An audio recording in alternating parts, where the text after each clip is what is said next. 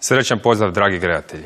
Ovogodišnje prvenstvo Hrvatske za žene igrano je Đakovu i na njemu je pobjedila Borka Frančišković. Borka Frančišković je dolazi iz Rijeke, ima 27 godina i naša je trenutačno najbolja igračica. Ovo je čak šesta osvojena titula.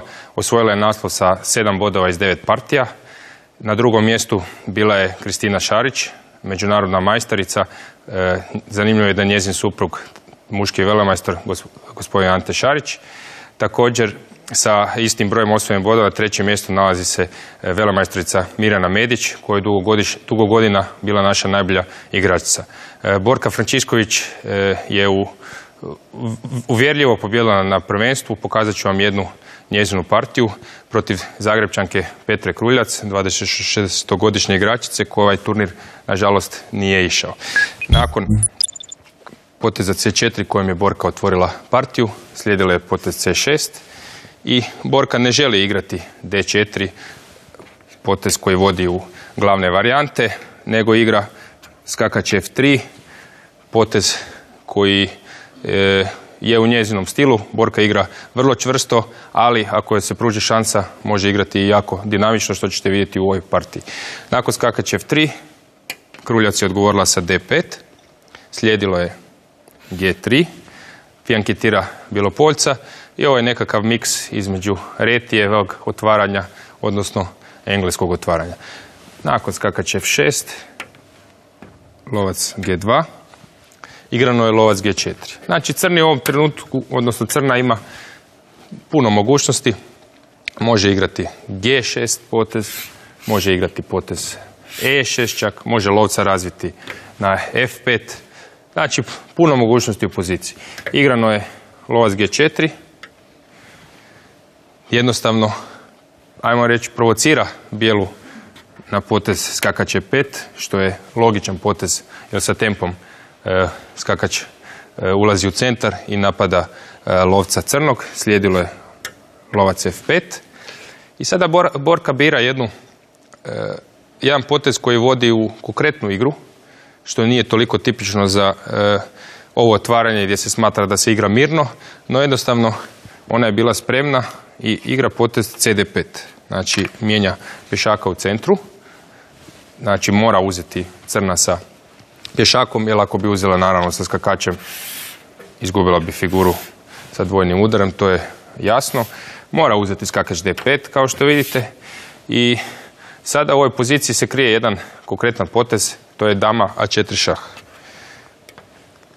Taj potez stavlja pred kušnju crnog, odnosno crnu kako reagirati. E, moguća su dva e, pokrivanja, to je skakačem sa B8 na D7 ili lovac D7. E, Kruljac je izabrala skakač D7, što je po meni ipak e, slabiji potez. Trebalo je igrati lovac D7, no nekako nas uvijek uče da je lovac e, vredniji od skakača, pogotovo u nekim otvorenim pozicijama. Tu je Fischer pokazao u puno partija koliko su lovci dobri. No u ovoj, u ovoj konkretnoj poziciji to nije problem, jer ako što se izmijeni može uzeti i damom. E, taj lovac bijelog nije toliko e, jak, odnosno bijeli ne bi mogao e, lako razigrati svoj lovački par. Do toga nije došlo, nego je Petra izabrala pokrivanje skakačem, skakač D7. I sada je e, Borka nastavila sa skakač C3. Ovdje postoji jedan potez, to je G4, potez koji je Borka koristila, igrala ga kasnije, ali e, nije toliko dobar zato što crni može igrati sa tipičnim, reagirati sa tipičnim taktičkim udarom, to je dvojni udar. Vidite da je napadnut lovac na C1 i napadnut je skakač koji je u centru i e, crna bi napala, pritisnula bijelu i to nije dobro za bijelu. Znači Borka rješava taj problem sa e, otvorenom C linijom i igra potez kk C3. Znači prvo napada na D5, znači e, zapošljava crnu, igrano je E6 i sada igra taj potez G4. Znači pokušava ugroziti, ugroziti lovca. Naravno da je lovac unutar e, pozicije crnog. To ne bi imalo smisla jer se time ništa ne dobiva, nego baš je konkretno vezano uz položaj ovog lovca koji još nije dovoljno siguran. Ili recimo da je pješak na H6. To također ne bi bilo strašno jer bi fino crni povukao lovca u sigurnost i bijeli ne bi imao nikakvu e, inicijativu. No, u ovom trenutku crna mora reagirati, mora naći mjesto za svog lovca. Dva su normalna poteza, to je lovac G6 i jedan malo neobičan, ajmo reći, lovac C2 vrlo neobičan potez, jer pretpostavljam da se slažete, zato što ostavlja lovca e, na C2 kojeg bijeli može usjeti, no ideja je toga da se odvuče dama koja je vezala crnog kralja i štitila ovoga skakača posredno, jer sad crni može uzeti skakač E5. Znači, odvukao je damu od vezivanja i uspio riješiti problem svog lovca. Znači, to bi bilo jako dobro za crnu. No, tu se krije jedno e, rješenje za bijelu, a to je skakač uzima F7. E, kad vam neko napadne e, figuru, vi možete ju uzmaknuti, a možete i napasti njegovu figuru obično iste ili veće vrijednosti. To je rješenje ovog poteza skakač F7. Znači napada protivniku damu, s obzirom da je napadnuta dama bijelog. Ako bi crna uzela na A4, izmijenila dame, slijedilo bi skakač D8, znači uzima protivnikovu damu, nakon top D8, slijedi skakač A4, nakon skakač G4, sad je, e, ako pobrojite e, pješake na ploči, jednaki materijal, 2, 4, 6 pješaka crnog i 2, 4, 6 pješaka bijelog, no bijeli osvaja jednog pješaka sa potezom lovac H3. Jer je vezan, ako ga brani, slijedi F3, napad na skakača, nakon skakač E5 uzima lovac E6 i sad ako pobrojite jasno je da je ostao sa pješakom više. Znači ta e, transakcija bi bila u korist crnog i to ne, ne, bi bilo dobro za crnu. Crna ima i drugi izbor, znači može da ne, ne dame, može odigrati, e, uzeti odmah kraljev 7. Znači u ovoj poziciji kad sam uzeo skakačev 7 napao e, damu crnog, može igrati potez kraljev 7. Znači da uzme kraljem tog skakača, opet bijela uzima dama c2, trenutačno je materijal na ploči u korist bijelog jer ima pješaka više i sada ako uzme skakač g4 slijedi jedan udar u centru, skakač uzima d5. Uzima pješaka, mora crni uzeti figuru, inače će ostati bez čistog pješaka. I sada bijeli uzima lovcem tog pješaka i crni kralj je na putu problema. Recimo, ako ide na E liniju, znači da pokuša naći sigurnost na E liniji, slijedi dama je četiri šah. Dvostruki udar. Kralj je u šahu i napadnut je skakač nakon recimo poteza skakač E5, da se taj skakač e, da pokrije kralja, slijedi D4 i kao što smo vidjeli opet je e, vezivanje jedan tipičan šahovski e, taktički element da je jednostavno zbog tog vezivanja bijeli osvoja materijal. Znači to ne bi bilo dobro za crnu i kruljac nije igrala skakač, nije igrala lovac C2, taj neobičan potez koji smo rekli da je bio moguć. Da li bi Borka uzela na F7? Pretpostavljam da bi, jer je vjerojatno ovu poziciju analizirala. Tako da bi Crna bila u problemima. No, po meni je to bilo bolje nego što je igrano par. Znači ja bi recimo s Crnim, ako sam se već našao u ovoj poziciji, pretpostavljam da bi izabrao taj potez i nakon skakače F7 bi ušao u onu završnicu koju smo rekli, znači promijenio, uzeo bi damu i promijenio dame, jer tamo imam pišaka manje, ali ipak u završnici to nije toliko strašno. Možda se može držati, ako sam već pogriješio u otvaranju sa potezom skakač D7. E, kruljac bira lovac G6 i sada Borka nastavlja sa napadom na e, lovca. Na jedan put vidimo da taj lovac nije mu, ne nalazi, ne, ne, nije mu sigurno polje na G6, mora nekako e, e, reagirati. Ako pokuša ga otvoriti, vidjet ćete u partiji, uzima se na G6, bijela je osvojila lovca, e, udvojila je pješake i napravila čak i neke slabosti e, drugih pješaka. Znači lovac D6 je bila reakcija Petre Kruljac, pokušava napadom protivnika, protivnog skakača na E5 e, kupiti vrijeme, no Frančišković jednostavno igra potez D4, učvršćuje tog skakača i postavlja e, pitanje crnoj, a što, ćete, što ćeš dalje? E, Kruljac je reagirala sa potezom H6 i sad kao što smo rekli uzima skakač G6, uzima G6.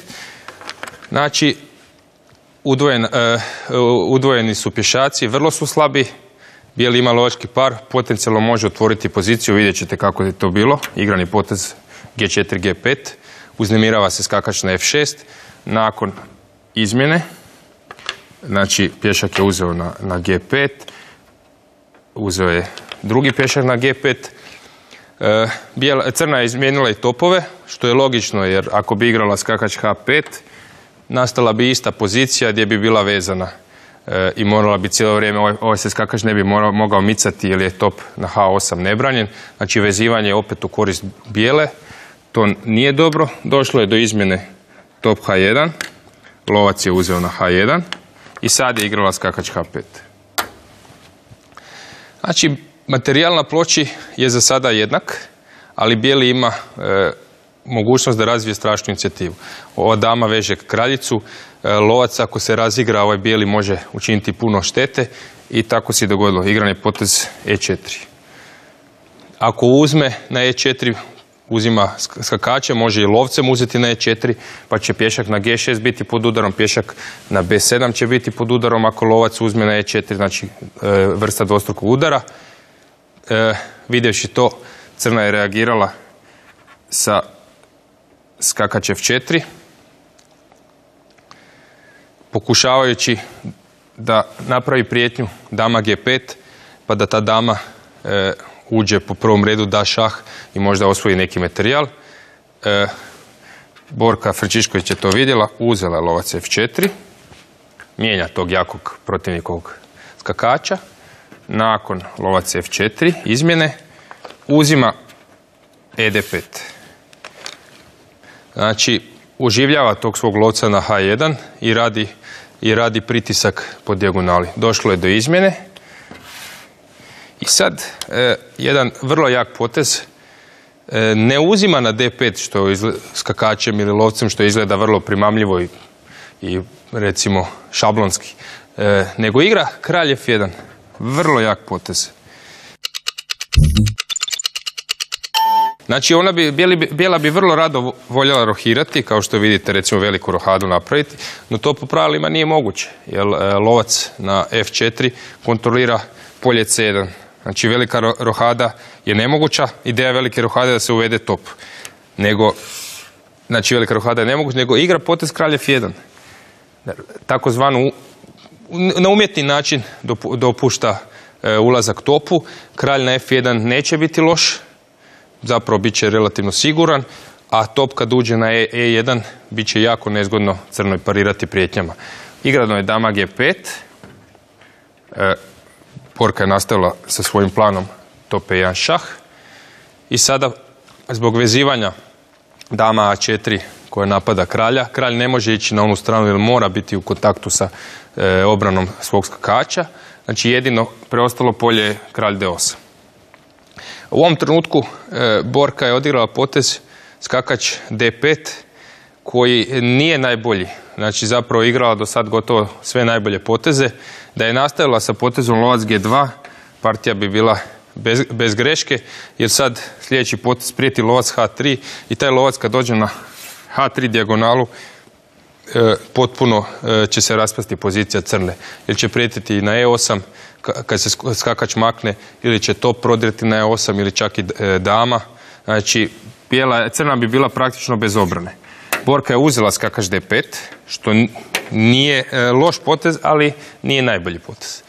I sada crna griješi i, i dopušta e, kombinaciju, odigrala je potez lovac D6, vidjet ćemo kako se ta partija završila, ali otpornije je bilo top C8.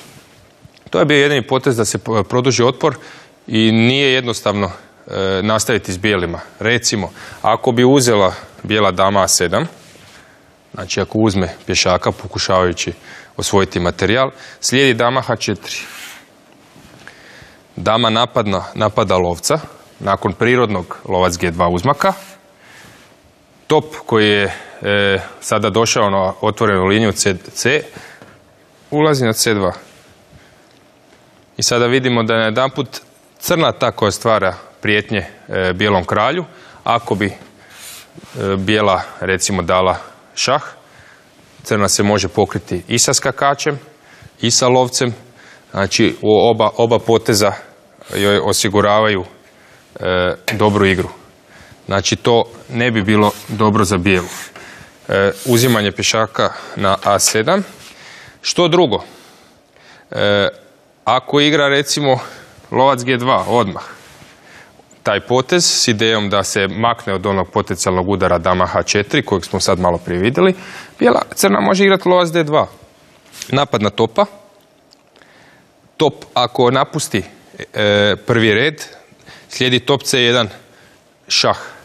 Znači, e, dolazi do nekakve igre crna. Ni to nije najbolje. Vjerojatno je najbolje u ovoj poziciji za, za bijelu uzeti skakač F4, izmijeniti skakača za protivnikovog lovca, dama uzima F4 i sad uzeti lovac B7.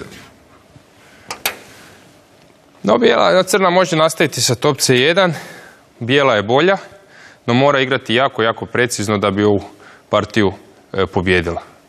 Tako se partija trebala razviti, no crna, odnosno kruljac, e, griješi i dopušta jednu jako lijepu kombinaciju e, borki koju ona je vidjela i sad ćete vidjeti kako se to dogodilo. Igran je potez lovac D6. Znači vraća tog lovca, pokušava kontrolirati. Sa zadnjim potezom je bijela prijetila tope 7 prijetila je taj potez. Sa topom na C8 to ne je bilo strašno jer bi, jer bi crna dala šah. E, znači prijetila je tope 7 i sada to kruljac želi spriječiti sa potezom lovac D6. No, taj lovac na F4 ima jednu funkciju, ako dobro branio je damu, to se sad ne vidi odmah, ali nakon poteza dama A5, šah, kralj ne može se micati, znači crni se mora pokriti, može se pokriti sa skakač B6, slijedi dama B5 i u problemima je prijeti to P8 mat, a skakač ako se makne onda će ovaj pješak biti na B7 će pasti. Nakon B6 čini se da je sve u redu, znači igra B6, brani e, taj šah i e, drži, rješava se bijele dame. No slijedi sjajan potez, top E8 šah, top u prazno. Vidite, e, žrtvuje se top da bi se kralj dirigirao na polje na E8. Znači mora uzeti topa, inače mat i slijedi skakar se 7. Čini se da je, da je da bijela bez veze daje, ali zapravo tek sad vidite da se otvorila, otvorio peti red. Ova dama na G5 je bez zaštite E, žrtvojući dvije figure, osvojila je protivniku damu, znači nakon lovac C7, slijedi dama G5 i e, bijela je osvojila protivnikovu damu i sljedeći potez će možda odigrati lovac C6, partija neće dugo trati, kruljac je e, dva poteza prije predala.